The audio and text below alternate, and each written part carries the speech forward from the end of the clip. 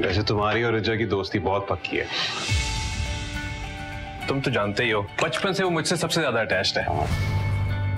ये जो मोहब्बत करता है ना भाई खुल के इजहार कर और न वक्त आने पे कुछ हाथ नहीं आएगा वक्त आने पर सब करूँगा यहाँ तक मोहब्बत भी।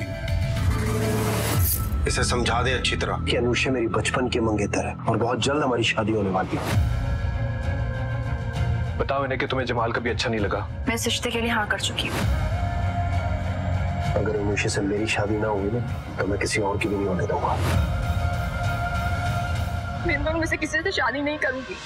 सफ़र तमाम हुआ 26 दिसंबर से रोज शाम सात बजे ज़िंदगी एक्टिव पर। एक्टिवेट करें डी टू एच ज़िंदगी एक्टिव को दो रूपए उन्नीस पैसे प्रतिदिन में। एक्टिवेट करने के लिए अपने रजिस्टर्ड मोबाइल नंबर से one eight double zero three one five zero double one seven आरोप मिस्ड कॉल दें।